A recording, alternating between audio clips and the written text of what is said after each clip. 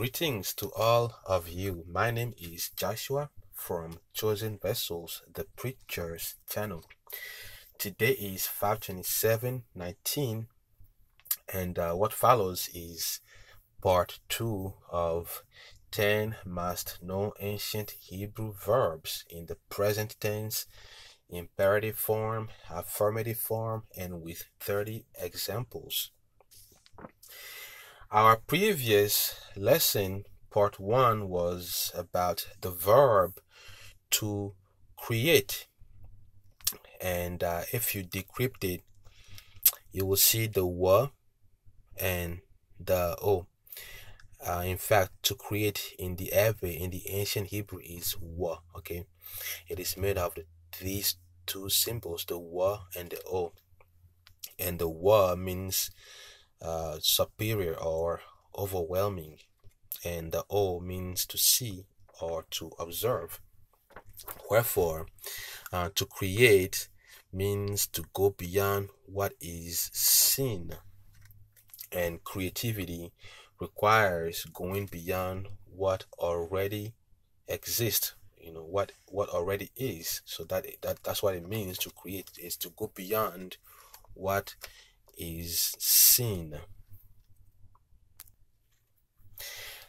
In this second part, we will learn to conjugate the verb to go. And uh, it is in number two on our 10 must know ancient Hebrew verbs uh, to help take your Eʋe uh, language learning or your ancient Hebrew language learning to the next level especially because you will understand the meaning behind the words you are using. So, to go in the Eʋe in the ancient Hebrew is Yi, which is uh, letter Ya. This again is the Hebrew in its original form, the Eve ever. The air okay well and which is read from right to left ever okay? And uh, this is the European version of it uh, uh, read from uh, left to right every okay? And then the latter version of which is Hebrew okay? So ever is uh, Hebrew. All 10 lessons are coming from um, the booklet titled uh, 10 Must Know Ancient Hebrew Verbs in the Present Tense Imperative Form, uh, Affirmative Form with 30 examples.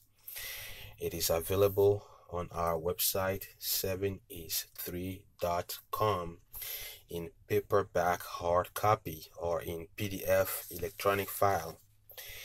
Uh, there is a link in the description box of each video lesson to take you directly to uh, the web page should you want to own a copy and uh, thank you in advance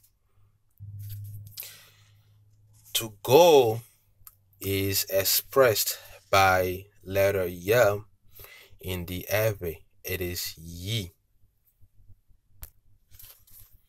And uh, this is what the Great Commission looks like as we read it in uh, the book of the Gospel of Mark, chapter 16, verse 15, where uh, Jesus said to his disciples, uh, I read, and he said unto them, Go ye, all right, go ye, ye, into all the world and preach the gospel to every creature.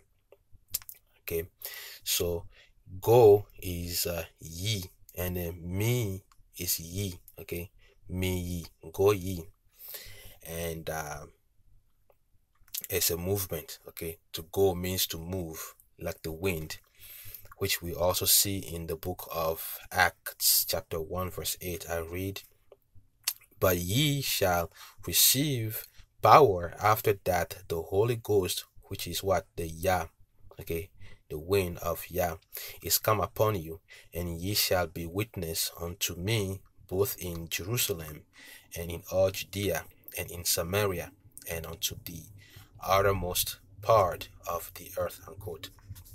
So from from jerusalem to spread into the whole world. So yeah or to go means uh, it's a movement okay like the wind. To go means to move so how do you say go in the Eʋe in ancient Hebrew? It is ye okay ye and uh, you go or go ye it is me ye okay? Me is uh, you and ye is go. So me ye go ye or you go okay? This is the ya symbol the flow and this is where letter ya derived from.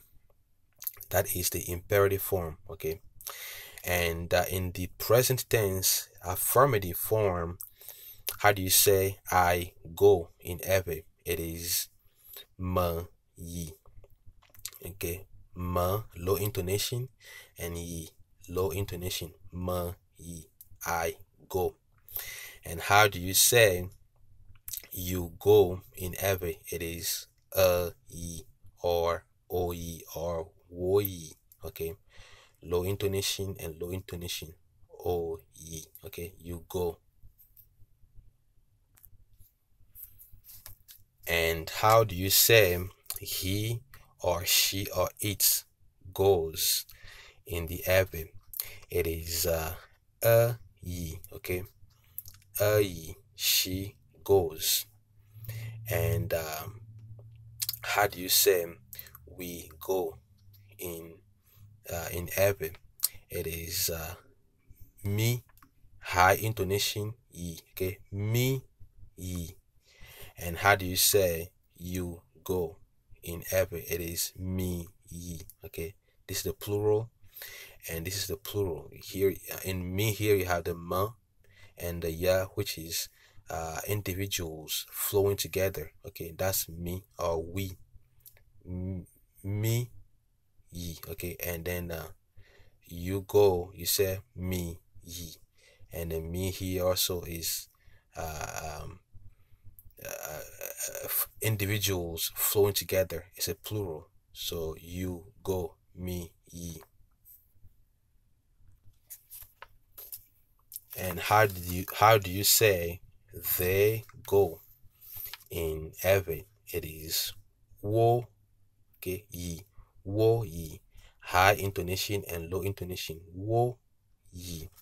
And then wo again is uh, it's a group of people. There are there are many plural, and this is the uh, the symbol to express the plural. It is wo, okay, and ye. And in uh, uh, examples. There are three examples here. The first one is uh, uh, go home. Okay, go home. In Eʋe, it is ye affirm. Okay, ye affirm. Low intonation, low intonation, high intonation, and low intonation. Ye affirm, affirm, and then ma. And the second example is go to Aram go to Aram and it is ye Aram bo okay ye Aram as a slide uh, as a slide down. Uh, it's a downward slide intonation. Ye Aram bo okay.